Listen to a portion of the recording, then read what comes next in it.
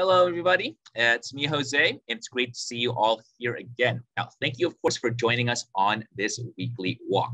Now, today on this very lovely Wednesday, I thought we could go and actually explore one of the most beloved and um, you know, traditional board games in all of history, and one that I think we New Yorkers are especially uh, quite fond of.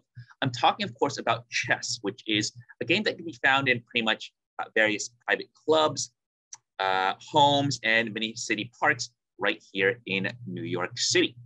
So first, of course, uh, before we start, let's go over the Zoom functions real quick. Now, as you know, all participants are muted, but you can use the chat feature to say hello and comment. Uh, if you want to ask any questions, you can use the Q&A function, and my colleague Desiree is going to be on the back end uh, answering any inquiries you folks might have. Now, closed captioning has also been enabled, but you can use the, uh, uh, the uh, hide subtitles button uh, to uh, turn them off. the images that you see today, they, they were taken from various different sources like the New York Public Library, the New York City Parks Department Archive, and of course the archives of the Central Park Conservancy. Now, as you folks know, our mission here at the Conservancy is to preserve and celebrate Central Park as a sanctuary from the pace and pressures of city life, enhancing the enjoyment and well-being of all. All right, folks, so let's get right to it. Now, chess, of course, is just one of those things that are, of course, absolutely timeless. It actually first developed in the Indian subcontinent more than 1500 years ago. And from there, it would spread to Persia, the Middle East, and then eventually Europe. Over time, as it gained new followers from all walks of life, it eventually uh, uh, evolved to become the game that we're now quite familiar with. And by the late 1800s, uh, chess became more standardized. Uh, from then on, you could uh, really start to see uh, chess organizations being played or being formed rather, and the rules of the game set in stone.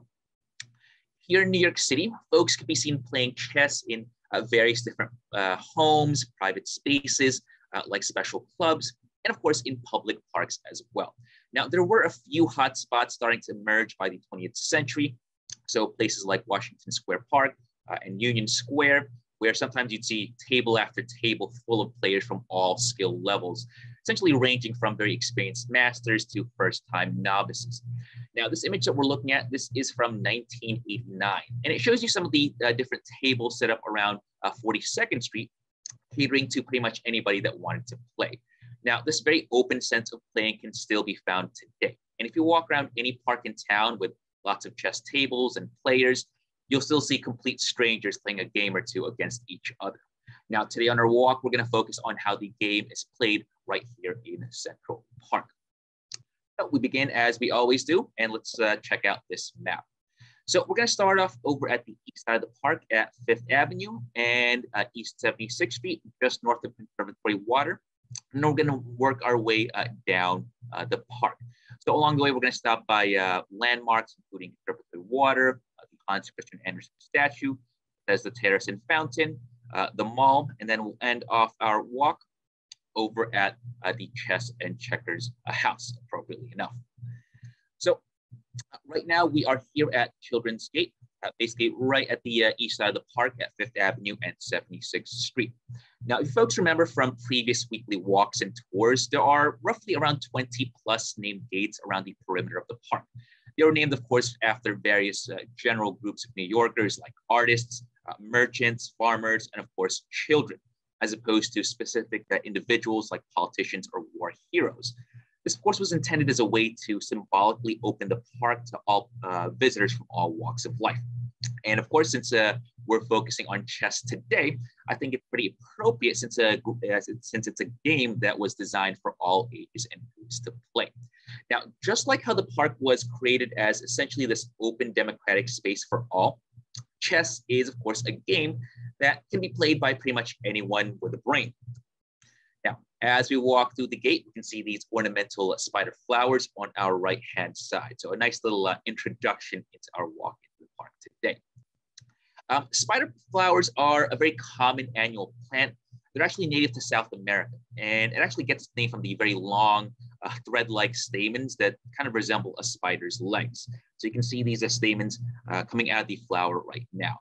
Now, these plants can actually grow pretty quickly and quite large, upwards of six feet tall in some cases. Uh, you might have actually uh, seen these uh, in various different gardens before. I know they're actually quite popular to grow since they can uh, attract uh, quite a lot of native pollinators like bees, hummingbirds, or even bats as well. Uh, honestly, I just kind of like how the uh, flowers kind of look with their uh, funky stamens and whatnot. All right, folks, so we're gonna go ahead and continue and we're gonna make a left turn right over here at this intersection and we're gonna head south towards the next stop. Now, after making our way through the winding pathways, we can then start to see the backside of the next statue on our walk. This, of course, is the world famous Alice in Wonderland statue, popular with not just tourists from around the planet, but of, co uh, of course also with local children that are attracted to its whimsical nature. In fact, if you come here on any given day, you might encounter groups of kids here using the statue as essentially kind of like a playground of sorts. Uh, that's actually the reason why the bronze, as you folks can see right here, is so faded, especially on uh, smooth edges like the uh, caps of the mushroom, basically from decades of children just uh, playing on top of it. Officially, it was unveiled uh, in 1959, and it was crafted by the Spanish sculptor Jose de Creeft.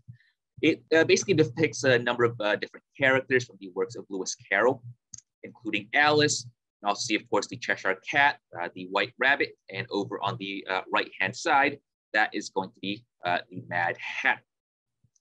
Now, if you look down on the ground, also notice these uh, plaques with quotes from Carroll's books.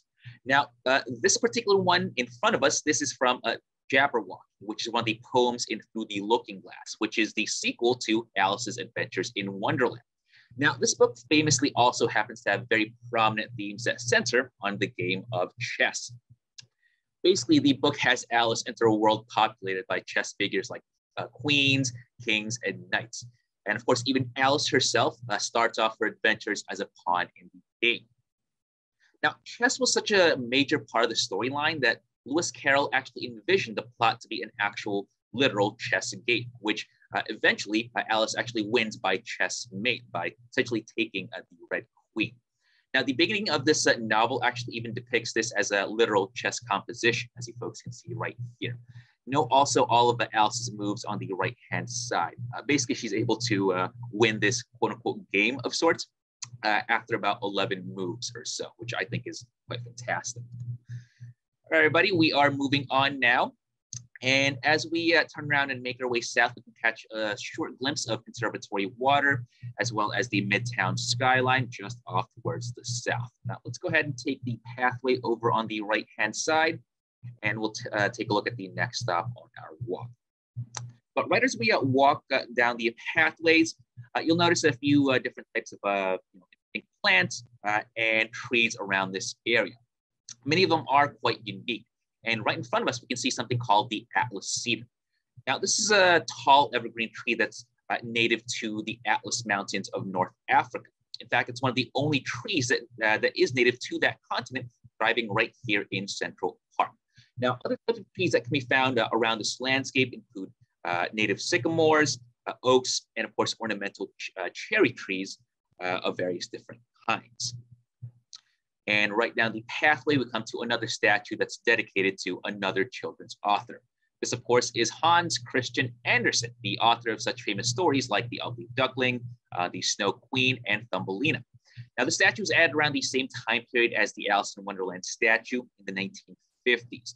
It's basically a work of art by George Lober, who is this uh, Danish-American sculptor uh, who really wanted to bring one of Denmark's most famous sons to Central Park uh, in the form of this monument. Now, since 1956, it's hosted free weekly events that are really quite popular with a lot of uh, local uh, children, such as story time, and these are usually conducted by the New York City Parks Department. All righty, and moving on with the uh, tour, we're gonna go ahead and make our way through the winding pathways of Central Park. And at this point, after walking along the south shore of the lake, we've now made it to Bethesda Terrace. Now, the terrace was designed as the main formal area in the park, and it's noted for having a very uh, elegant design with plenty of careful details that reference nature as well as the seasons. Now, right at the center of the terrace, you're gonna find this large main fountain. Which is going to be topped off by the Angel of the Water statue, one of the most famous uh, works of public art uh, right here in Central Park. Uh, both the fountain and the terrace were supposed to serve as the park's architectural heart.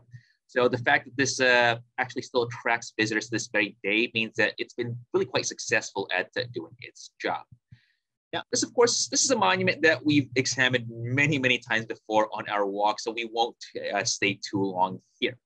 But since it is such a picture perfect fountain, as you might imagine, this, of course, is really quite an excellent spot for many formal gatherings, including events such as this one. Now, this is something called the Chess in the Park Rapid Open. And since the year 2000, the Parks Department has been organizing this event here at Bethesda Terrace. And it usually brings in thousands of uh, very eager chess fans from all skill levels from around the region. Now, in addition to all these uh, tables that are laid out for folks to use for uh, the main chess tournament uh, itself, there's also other uh, fun things like puzzles and games for the whole family. It's actually really quite a lot of fun, and there's really no pressure involved. Basically, anyone can play, from kids to grandmasters, and that's what I think makes it such a great event. All right, everybody. And speaking of chess, why don't we go ahead and conduct our first poll of the day. Now, since we are talking about the chess today, I wanted to ask you folks, now, are you a chess player? Now, we of course get all sorts of uh, chess players here in the park. And again, I really do think it's quite a democratized, uh, democratizing thing since you really don't uh, need to have any experience to actually try it out. I myself really am only a very occasional player, and I do highlight that word occasional. But sometimes I will play a game or two, probably very, very badly, but each game to me is uh, honestly kind of like a learning experience. All right, so it looks like uh, most of us have uh, already uh, voted. So let's go ahead and end off the poll and share the results. And actually, the results here have actually kind of uh, surprised me a little bit. So it looks like uh, most of you, about 62%, are not actually chess players uh, at all, followed by 28% at uh, very rarely uh, ever playing chess. But for the minority of you, roughly around 4%, you do indeed love your chess. But that's one of the really great things about our weekly walks and of course our, our presentation uh, regarding chess.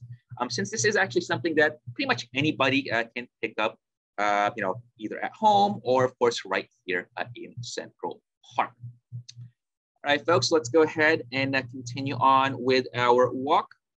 And uh, from here, we're gonna go ahead and make our way uh, through Bethesda uh, Terrace Arcade. And we're gonna take a bit of a detour through this very grand uh, and elegant area. Now, uh, note, of course, also the lovely historic looking arches and the tiles that, that line this space. Now, the arcade was really supposed to evoke the medieval or perhaps maybe even the classical masonry courtyards that were so popular throughout antiquity. You'll also see these frescoes uh, on the wall of the arcade as well. Now, believe it or not, these frescoes really are not that old.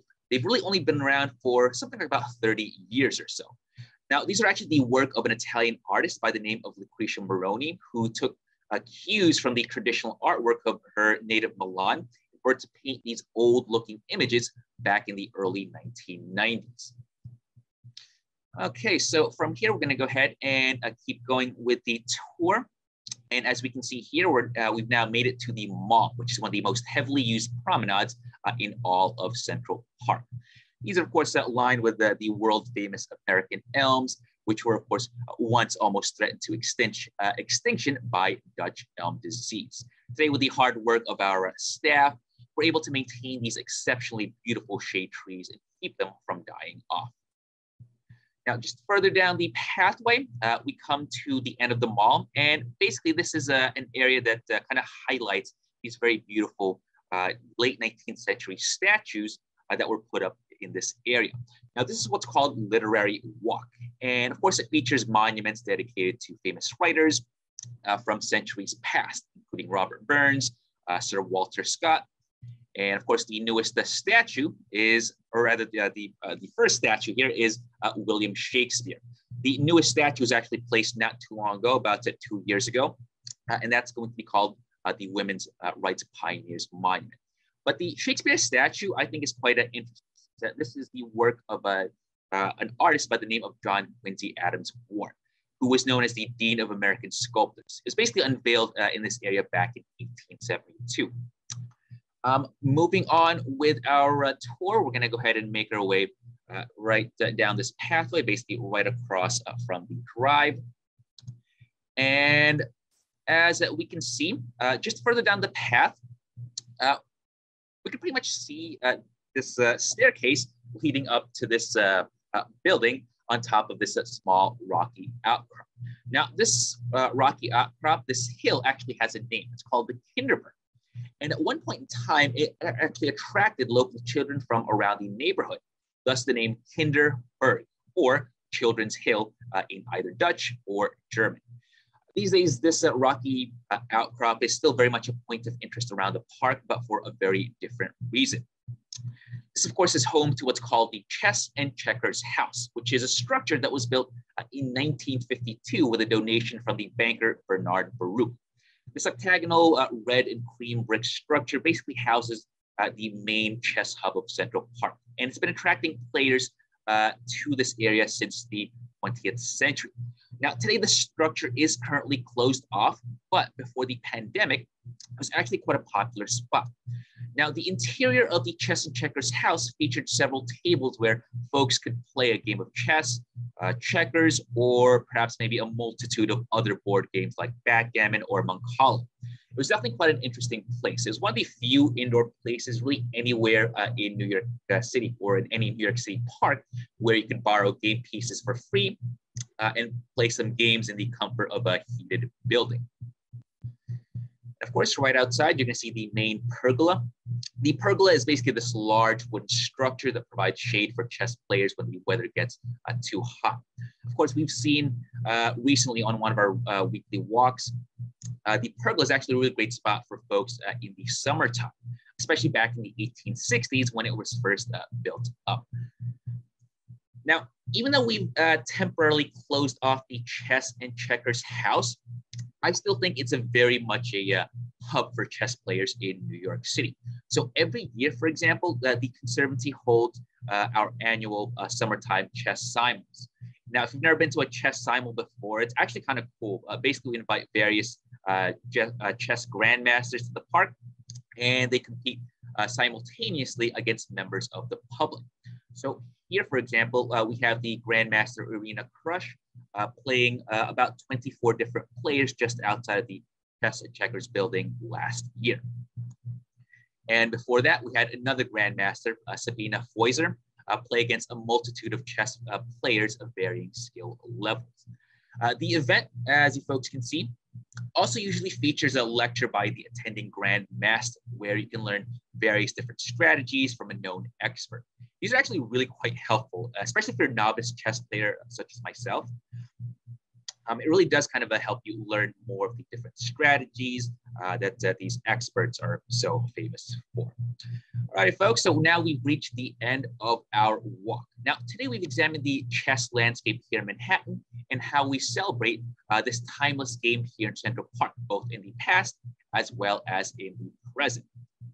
Now, as we wrap things up, I also wanted to take some time to announce the restoration of the Chess and Checkers house, which we actually started uh, just this week. Now, as I mentioned before, the building has actually been closed since the pandemic, but we here at the Conservancy have been working hard to update the facility to meet the growing needs of the park.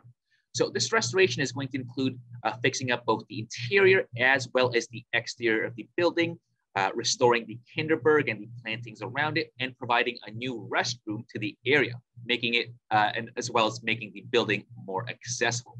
Now, this uh, restoration effort, this is slated to continue through uh, the year as well as through 2023. But once it's opened up, I think it's going to be a fantastic upgrade to the current park landscape. You can learn more about it on our website, centralparknyc.org uh, slash restoration. And uh, Desiree is going to go ahead and uh, place the link on the chat in case you folks are interested uh, in the restoration uh, that we have coming up that area. All right, everybody. So that does it for this week's walk. Now, I hope you can also join us as well for some of our other guided tours, including that of the Hallett Nature Sanctuary. Now, tickets are still available online and on our website, so please be sure to check it out. Now, thank you, of course, for joining us uh, today. Uh, don't forget to check us out on our social media channels, including Facebook, Instagram, Twitter, and YouTube. Our handle here is at Central Park NYC. Now we're going to go ahead and leave the room, uh, the room open for any last final questions. But otherwise, from all of us here at the Central Park Conservancy, stay safe and be well. Have a good day, folks.